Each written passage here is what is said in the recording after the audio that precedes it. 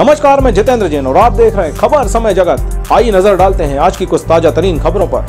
पवई, प्रधानमंत्री गरीब कल्याण अन्न योजना के तहत स्थानीय मुख्यालय के अंबेडकर पार्क के वार्ड नंबर 14 एवं 15 में अन्न उत्सव कार्यक्रम आयोजित किया गया।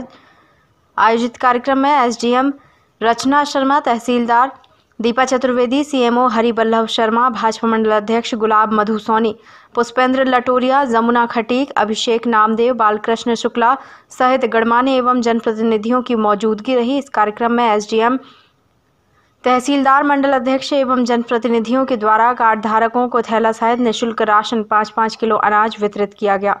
वहीं इस कार्यक्रम में उत्सव के दौरान टेलीविज़न के माध्यम से प्रधानमंत्री नरेंद्र मोदी के भाषण का लाइव प्रसारण कार्ड धारकों को सुनाया गया। इस कार्यक्रम में नोडल अधिकारी प्रबंधक सेल्समैन उपस्थित रहे। काम को आगे बढ़ा रहे हैं। मैं बहुत बहुत धन्यवाद आपका और बहुत शुभकामनाएँ सर आप सबको बहुत बहुत धन्यवाद सर जी।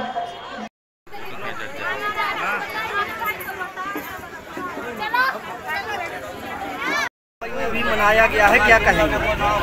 प्रधानमंत्री गरीब कल्याण योजना के में चंद्रा पंद्रह में बोले उत्सव मनाया गया। इस उत्सव में जो गरीब भाई बहन थे वो नवंबर तक नवंबर माह तक फ्री में। चावल गेहूँ हर जिसका नाम नहीं भी है और वो गरीब है।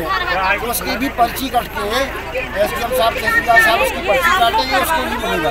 और ये जो है कोरोना काल में जो गरीब काम नहीं कर पाए थे, मजदूरी नहीं कर पाए थे, इसके कारण जो है, ये योजना प्रधानमंत्री जी ने की है सारे देश में।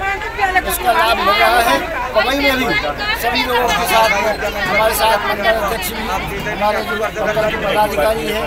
हमारे एस डी एम साहब, तहसीलदार साहब सभी ने मिलकर इसका आज वार्ड क्रमांक पंद्रह में भी किया। और काफ़ी उल्लास से मनाया गया। सभी गरीब प्रसन्न हैं।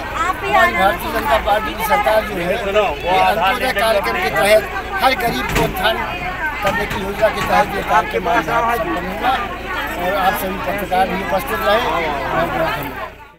खबर समय जगत के लिए पवई से शफी सिद्दीकी की report. Latest news subscribe to our channel